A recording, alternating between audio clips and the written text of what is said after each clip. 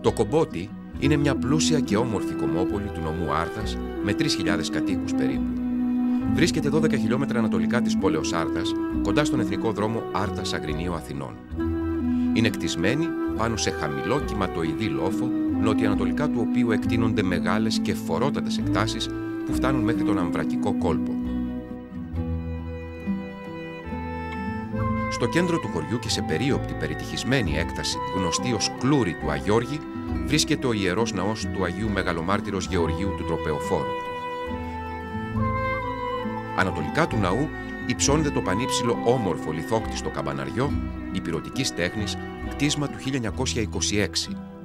Χτίστηκε στη θέση του παλαιότερου καμπαναριού που καταστράφηκε στις διάφορες πολεμικές επιχειρήσεις που έγιναν στο χώρο αυτό. Το σημερινό καμπαναριό, με τη μορφή ψηλού αλλά ανάλαφρου πύργου, λόγω των μεγάλων τοξωτών ανοιγμάτων του, προσδίδει ανάταση στο κτίσμα. Το οικοδόμημα χτίζεται πάνω σε μεγαλόπρεπη αψίδα διαβατικό που αποτελεί και την κεντρική είσοδο από τη μεγάλη πλατεία του χωριού στο χώρο του Ιερού Ναού. Στο κέντρο του καμπαναριού είναι χαραγμένα τα ονόματα των επιτρόπων κτητόρων του καμπαναριού. Οι επίτροποι Δημήτριος Σιώκος, Ιερεύς Ιωάννης Λάζος, Παναγιώτης Μαυρίκης, Νικόλαος Οικονόμου, Ηλίας Αρχιμανδρίτης, 1926. Σήμερα υπάρχει ψηλό περιτύχισμα που περικλείει τον περιβάλλοντα χώρο του ναού από τις τρεις άλλες πλευρές, βόρεια, νότια, δυτική, έχοντας μια νεότερη είσοδο στο νοτιοανατολικό τμήμα και μια δεύτερη είσοδο με όμορφη μεγάλη ημικεκλική σκάλα και μικρή τοξωτή πύλη στα βορειοδυτικά, κτίσμα του 1859, όπως μαρτυρεί η ανάγλυφη χρονολογία στο κέντρο της. Η τυχοποιία της είναι επιμελημένη και επιβλητική με τις τρεις αλλεπάλληλες σειρές των μεγάλων πελεκυμένων λίθων που διαμορφώνουν το τόξο της πύλης. Στο νοτιοανατολικό τμήμα του περιβόλου υπάρχει το μαρμάρινο μνημείο και ο τάφος του Κωνσταντίνου Γεροστάθη. Τα οστά και η επιτύμβια στήλη του 1870 μεταφέρθηκαν από την Κέρκυρα κατά το 1972. Ο ναός αρχιτεκτονικά ανήκει στον τύπο της τρίκλητης ξυλόστεγης βασιλικής. Στην ανατολική πλευρά εξέχει η επτάπλευρη και η μικεκλική εσωτερικά κόγχη του Ιερού Βήματος.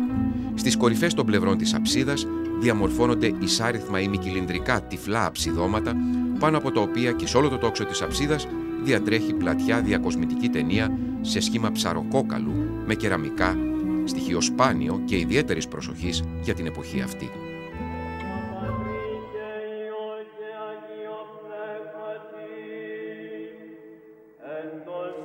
Ο εσωτερικός χώρος διαμορφώνεται με όλα τα χαρακτηριστικά γνωρίσματα των εκκλησιών της εποχής της τουρκοκρατίας, λιγοστό φως και απομόνωση από το εξωτερικό περιβάλλον με τον περιορισμό του μεγέθους των ανοιγμάτων. Η πλήρης απομόνωση του ιερού με το ψηλό τέμπλο από τον κυρίως ναό δημιουργεί ατμόσφαιρα περισυλλογής και ανάτασης που επιβάλλει το μεγάλο ύψος του χώρου σε συνδυασμό με τους σκοτεινούς τόνους των αγιογραφιών που καλύπτουν όλο το εσωτερικό του κατά τη συνήθεια της εποχής.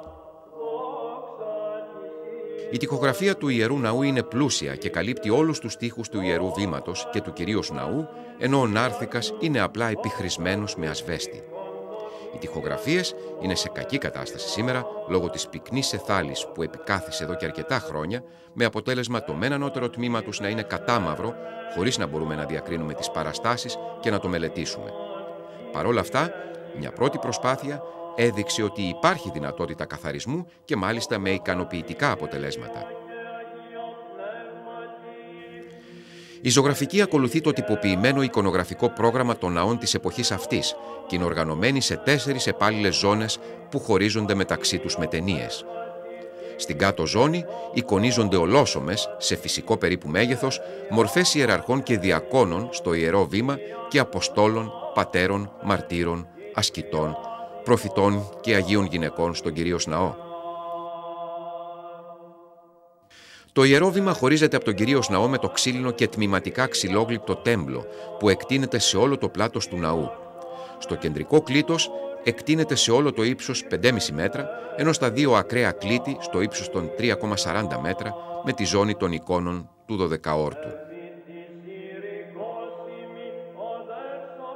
Τα σημαντικότερα κοιμήλια του Ιερού Ναού αποτελούν οι φορητές εικόνες του παλαιότερου τέμπλου με αρκετές βέβαια φθορές. Η παλαιότερη εικόνα είναι της ένθρονης Παναγίας, που διαφυλάσσεται εκτός του τέμπλου και επιγράφεται «Η Οδηγήτρια». Είναι έργο του 1646, όπως φαίνεται από τη χρονολογία που υπάρχει στο κάτω δεξιό μέρος της. Με βάση αυτή τη χρονολογία, οδηγούμαστε στην υπόθεση ότι αυτή η εικόνα είναι το μοναδικό σωζόμενο καλλιτεχνικό έργο από τους ναούς του παλαιότερου χωριού. Παναγία, οδηγήτρια. Η εικόνα φυλάσσεται στο ναό εκτός τέμπλου. Παρουσιάζει τη Θεοτόκο σε μεγαλοπρεπή στάση από τη μέση και πάνω, να κρατεί με το αριστερό της χέρι τον ιόν της σε παιδική ηλικία και με το δεξί τον προβάλλει στους πιστούς ως σωτήρα.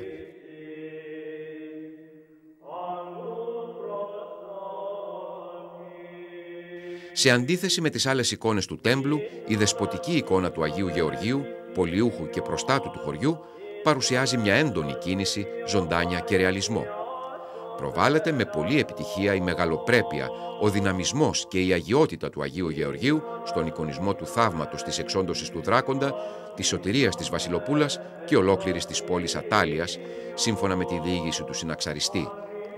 Στο ναό σώζονται τέσσερα αργυρά καντήλια λεπτής τέχνης των μέσων του 19ου αιώνα, καθώς και οι ρομβοειδείς αργυρές ταχώσεις Ιερού Ευαγγελίου της ίδιας εποχής.